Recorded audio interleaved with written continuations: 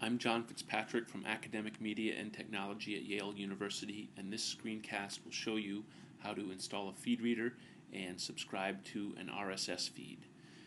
First, we uh, open up the web browser.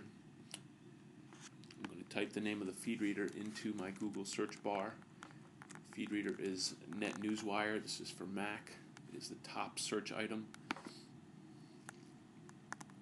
Here's the website for NetNewsWire. To download it, I click here.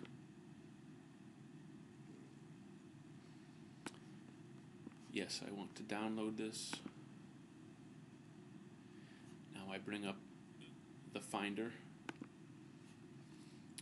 It's downloaded here. I double click to mount the disk image.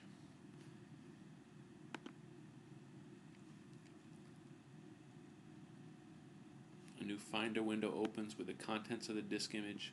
I'm going to drag the application into my applications folder. It gets copied.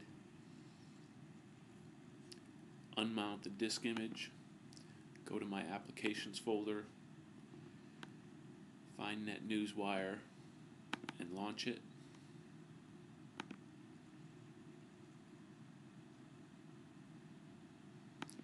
Here's NetNewsWire. These are some feeds that are automatically subscribed to with the installation.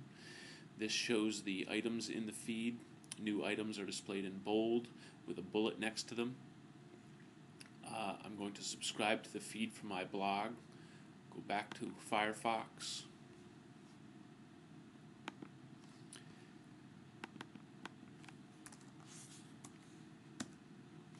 This is the front page of my blog. Scroll down to the bottom of the page.